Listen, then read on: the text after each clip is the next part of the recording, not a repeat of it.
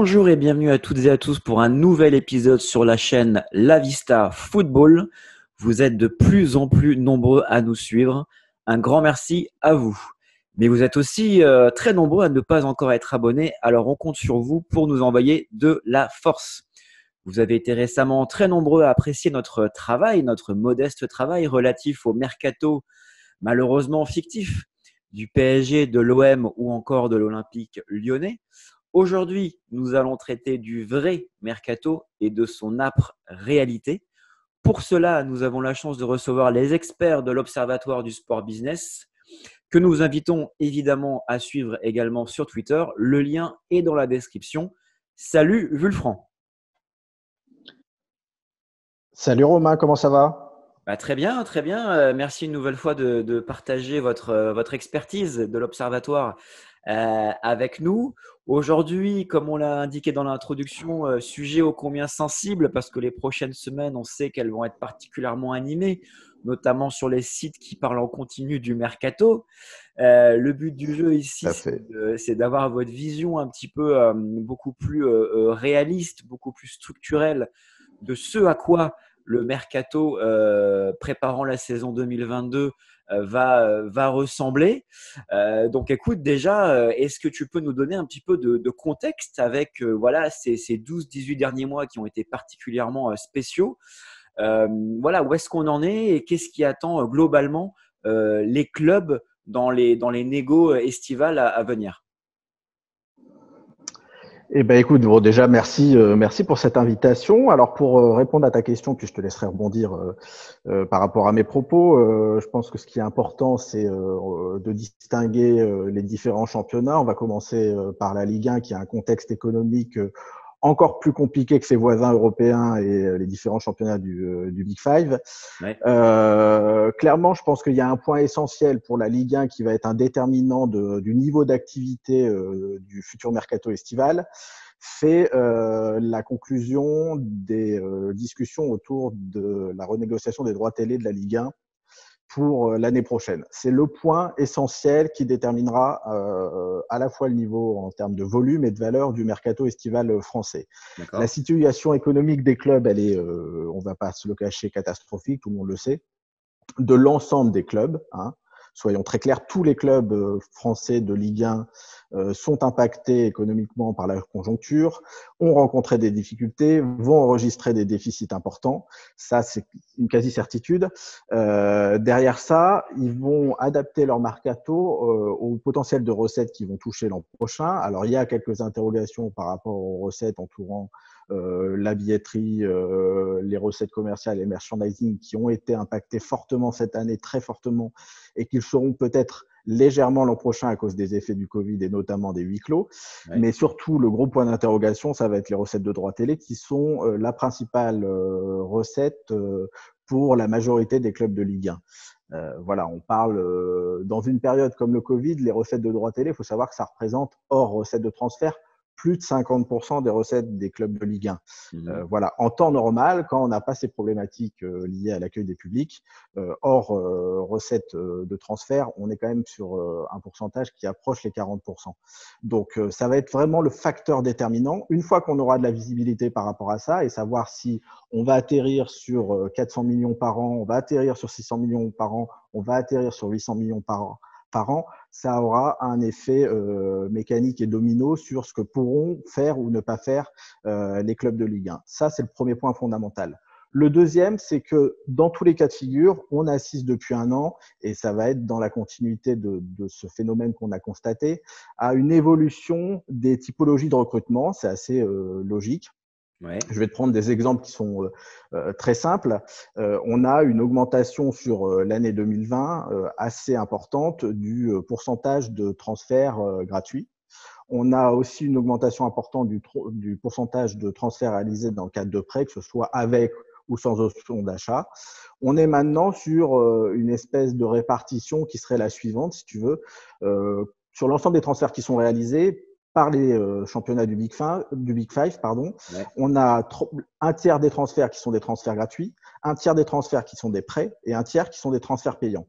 Pour les transferts gratuits euh, et euh, les prêts, en une année, si tu veux, on est passé d'un taux où globalement on était entre 20 et 25 de, de, de, ce type de transfert qui était constaté à effectivement un tiers. Donc l'augmentation, elle est extrêmement importante. Et on sera dans la continuité de ça. C'est-à-dire que le transfert payant n'est plus obligatoirement la norme principale. Euh, voilà.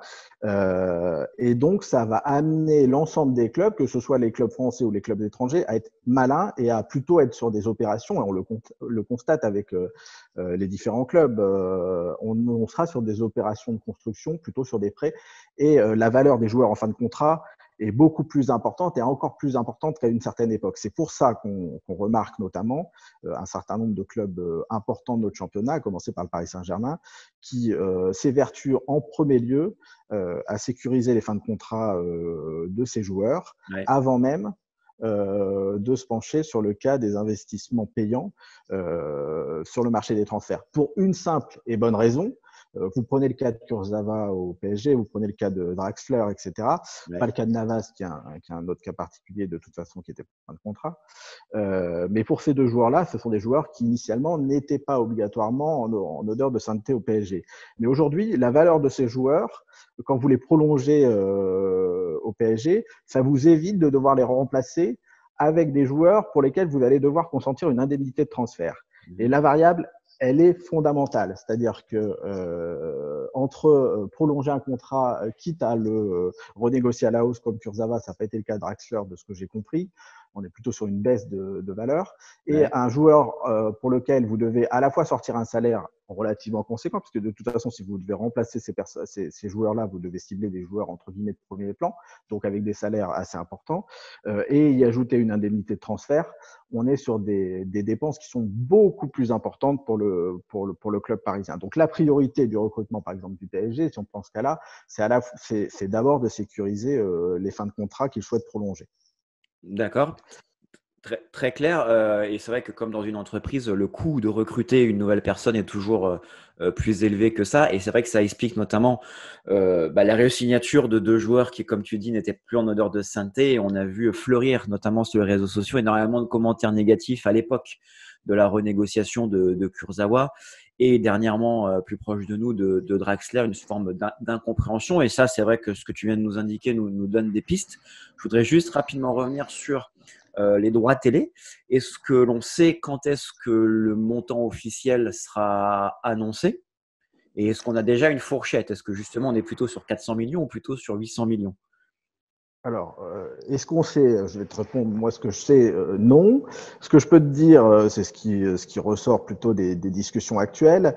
il semblerait effectivement qu'il y ait des discussions qui soient très poussées entre Canal et la Ligue 1, enfin, et la LFP d'une manière générale, ce qui, ce qui semble assez logique, que Canal voit d'un très mauvais œil l'entrée de, de potentiels nouveaux diffuseurs et des discussions en cours entre la LFP et d'autres diffuseurs comme un certain certain nombre de, de, ceux qui sont cités comme DAZN, etc. Euh, il y a un point fondamental, paraît-il aussi dans les échanges, euh, c'est euh, toutes les interrogations quant à la, au dimensionnement de la Ligue 1. Est-ce qu'on serait sur une Ligue 1 à terme, hein, pas dès l'an prochain, bien évidemment, à 20 clubs ou à 18 Canal serait plutôt favorable, paraît-il, à une, une, Ligue 1 euh, à 18 et euh, dans la continuité de, de ces éléments-là, euh, souhaiterait euh, attendre la euh, décision du collège de la LFP par rapport à, à, ce point central de savoir si on reste à 20 ou à 18 à un horizon de 1 ou 2 ans pour voir quelle, quelle, quelle, allait être ou quelle va être sa proposition de valeur. Donc nous, on n'a pas de, pour répondre à ta question, nous, on n'a pas de visibilité sur le montant mais euh, clairement, euh, on sera euh, très loin de ce qu'on a pu espérer au, tout début des discussions avec ou, ou, de l'accord finalisé avec Mediapro. Euh, maintenant, euh, je pense qu'on aura de la visibilité aux alentours de la fin du mois. Ça, me semble assez évident, puisque de toute façon, les clubs ont besoin de visibilité pour derrière avancer sur la construction à la fois de leur mercato. Et puis, il faut savoir qu'une renégociation de droits télé, euh, c'est exactement ce qui s'est passé l'an dernier avec Mediapro. Quand Mediapro a le contrat avec Mediapro a été signé, il y a eu un impact, malgré la pandémie, sur la capacité des clubs français à, à se projeter, à investir sur le, sur le mercato. C'est pour ça qu'un certain nombre de clubs, et je prendrai l'exemple de ceux qui montaient de Ligue 2 en Ligue 1, euh, d'abord, n'ont pas hésité à investir sur le marché des transferts pour se renforcer parce qu'ils avaient cette manne des recettes de droits télé qui était attendue. Donc, euh, il s'est passé ce qui s'est passé entre temps. De même, un club comme euh, le Stade Rennais, l'an dernier, a fortement investi sur le marché des transferts parce qu'ils avaient la qualification en Ligue des Champions qui leur assurait un certain nombre de revenus. En fait, c'est vraiment le point central. Il faut que les clubs aient de la visibilité sur leur niveau de recette l'an prochain pour pouvoir se projeter. Et le niveau de recette, il dépend à la fois de euh, ce qu'on a évoqué sur les droits télé, avec les droits de, de Ligue 1, et puis pour, pour les clubs qualifiés en, en Champions League et en Europa League, les droits et les recettes télé euh, européennes qui sont relativement importants pour euh, tous ces clubs-là. Et puis derrière, de la visibilité sur euh, les recettes commerciales et surtout les recettes de billetterie qui potentiellement seront très différentes l'an prochain de ce qu'elles ont pu être cette année.